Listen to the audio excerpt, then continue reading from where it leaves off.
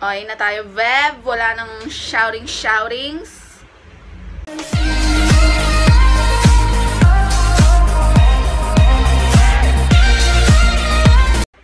One, two, three. Hi guys! Welcome back to our space. So, I'm Danica. And if you're new to our channel, hi, hello, how are ya? Well, how are ya? Jeffree Star ang sound!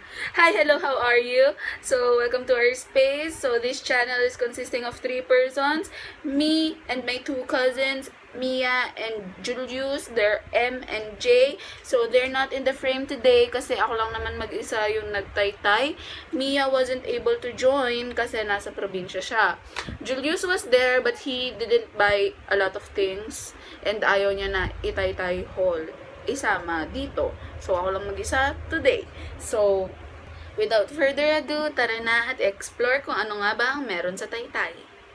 So, ayun, kung may maririnig kayo na mga sounds dyan sa kung saan-saan sa likod, mga nag-ML, mga nag-GG na, that's M&J.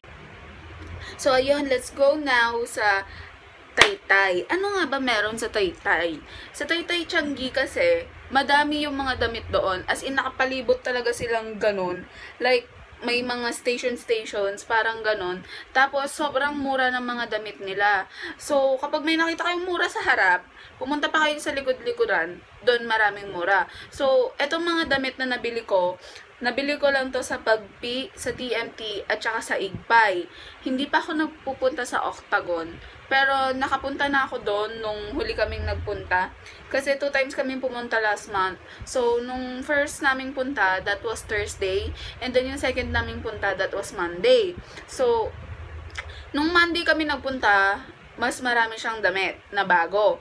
Nung Thursday kami nagpunta, mga nagkakaubusan na parang ganon.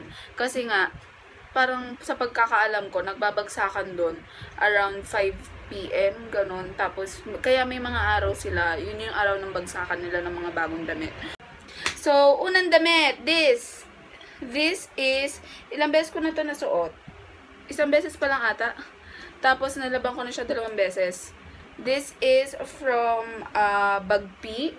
Ito yung parang uh, bralette siya na crop top. Tapos may pad na siya. So, galing to sa Bagpi. And this only cost 490 pesos. Sabi niya ate ko, mura na daw to para sa bralette. Kasi may pad na nga siya. Though, ang disadvantage dito, gumagalaw yung pad niya kapag nilalaban. Pero nababalik naman siya. That's easy. So, magpa-pop up na lang ako dyan ng mga pictures or ng videos kung saan tinatry ko to. Ayan. So, yung next naman natin is crop top ulit. This is off-shoulder. Yung mga nauusong off-shoulder ngayon. Ha? Akin to! Ayun. Maraming nagsasabi this is kid size. Kasi maliit daw. Pero, totoo naman kasi, nabili ko to dun sa mga pambata. Kaso kasi, yung mga ganitong tinitinda doon, mahaba na siya para sa akin as a crop top. So, bumili ako ng pambata. Bakit ba, Beb? This stretch siya, kaya kung around body uh, size ko kayo, kasya to sa inyo. Kasi di-stretch siya. Tapos yung tela niya sobrang lambot. Alam niyo yung telang cloth, pero sobrang uh, presko niya isuot at saka sobrang lambot. Sobrang gaan talaga niya sa katawan. Yan, ito yung binili ko. This is only for 35 pesos. Naman nating uh, tela, ay tela, damit is this um, skirt. This is a terno. Black siya. And may slit siya sa palda niya. And then, itong terno niya is off-shoulder na crop top. So, mas makikita nyo naman, mahilig ako sa crop top. Makikita nyo yung mga fit niyan dito sa gilid na to. Lalagay ko yung mga fit niya sa akin. excuse me. So, yung tela neto, nagulat ako. Nung una ko itong nilaban, akala ko yung mga glitters niya, yung mga kumikinang-kinang niya, mawawala after nilaban. Pero hindi, andito pa rin siya. Ayan, nakikita niyo naman. Andyan pa rin siya. Oops, sorry po sa nails ko, hindi na pinturahan. hindi na pinturahan yung nails ko, pero yun. Ayan. This is only for 110 pesos. Etong terno na to, 110 pesos sa Bagpi. Pasok kayo sa pinakadulo-dulo ng Bagpi, madaming mura doon. Kasi sa harap, medj mahal-mahal pa, pero sa dulo, marami talagang mura doon ng mga ganito. Tapos, ayan, hanggang loob yung ano niya, though manipis siya, ayan, kita niyo yung kulay ng damit ko, pero maganda siya, presko siya, at since black naman siya, hindi naman siya ganun ka makikita kung ano yung suot mo sa loob. So, yun. So, yung next natin is this. This is uh, normal tee, crop top, parang ganun. Alam niyo yung ano, pa-t-shirt siya pero crop top siya. Yeah. This is only for 35 pesos. Though hindi ko ata ito mafi-fit, hindi ko sure kung masusukat ko siya kasi sobrang nipis niya. Yung kitang-kita niyo yung kulay. Pero ito try natin yan. Lalagay ko dito yung sibilid. Magpapag-giveaway tayo kapag mayaman na ako. Ayan. So, this is only for 35 pesos lang naman. So, wala na tayong dapat kareklamo pa. So, yung next is this nauusong ruffled top. Kay Nadine Lustre ko to nakita, kaya gustong gusto ko bumili kasi I'm a huge fan of Nadine Lustre. She ma queen, she ma president, and nakita ko to dun sa isang Instagram story niya.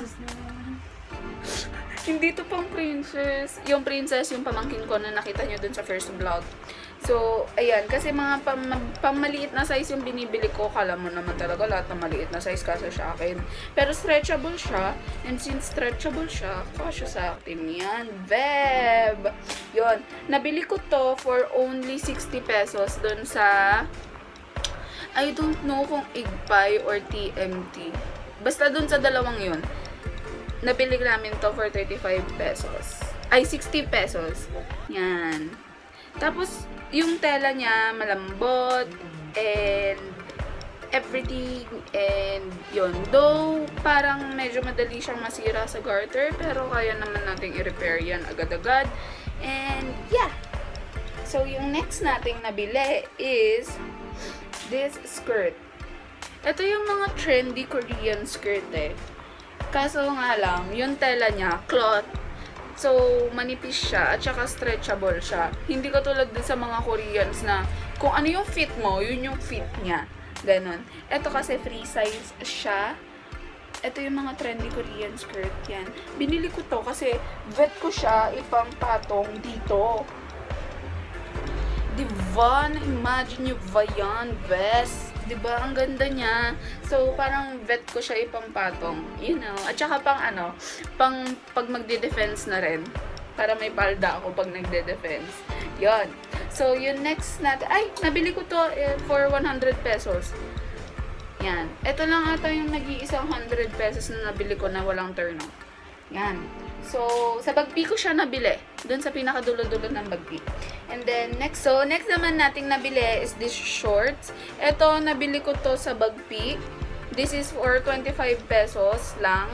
And, hindi ko kasi kaya naging 25 pesos siya kasi yung pinsan ko kumuha kami ng wholesale yon 25 pesos lang to sa may bagpi and then ito 35 pesos sa Igpay yan. And then, next naman is this bodycon dress na black. Ma'am, puro black pala yung nabili ko. Kundi black, black and white, navy blue. This is bodycon dress or also known as string dress or I don't know what do you call this but I call this body bodycon dress. Ito yon yung parang square lang yung cut niya sa taas. And then stretchable siya. Yan. Yung tela niya is soft. Ilang beses ko na nasuot to, pero hindi naman bumabakat yung kulay ng skin ko. Pero ewan ko bakit bumabakat yung yellow. Though manipis siya, pero hindi talaga bumabakat yung suot ko sa loob kung anong kulay. Kasi nga, black siya. So, yeah. Yan. Next naman, ay, nabili ko ata to for 100 pesos. 110, 100 pesos sa may igpay na. Kasi, may nakita akong ganito sa labas ng uh, bagpi. Kaso sabi ng pinsan ko, wag daw muna bumili doon. Mag-ikot kami. So, yun. Nag-ikot kami. Nabili ko siya sa igpay. Kasi rush ko na din siya binili kasi palabas na kami. So, next naman is this turtleneck the top. This is from Bagpi. This is also for 39 pesos. Ay, 35 pesos. And, yan. Manipis din siya. Pero, ma-press ko siya. So, ayan. Last two items tayo, guys. At yung two items na nabili ko is jacket. So, ito po ang jacket na nabili ko. Ang nabili kong jacket, hindi ko alam kung anong brand to eh. Itong dalawang paa. Pero nakikita ko na to eh. Uh, I'll just put it down there kung anong brand to. Basta parang ukay-ukay sila doon ng jacket. Tapos para kasi siyang windbreaker. Eh, ang tagal ko na naghahanap ng windbreaker. Tapos nabili ko to for or only 80 pesos. Like, what? What? What? What? What? Yeah, for only 80 pesos ko siya nabili. And then yung last. Ito sa lahat na nabili ko, feeling ko ito yung pinakamagandang deal sa akin. Kasi this is a jacket. Para siyang bomber jacket. Kasi sobrang laki niya sa akin. And, I don't know the brand eh. Hindi na nakalagay yung brand niya. Pero halata siyang luma. Halata siyang ukay-ukay. Dahil sa mga uh, stud. Yan. Stud ba yan? Ewan ko. Tsaka dun sa mga panlock niya na nangingitim na. Pero, para sa akin, this is the greatest deal. Kasi this is a jacket. Ayan. And, ganyan siya.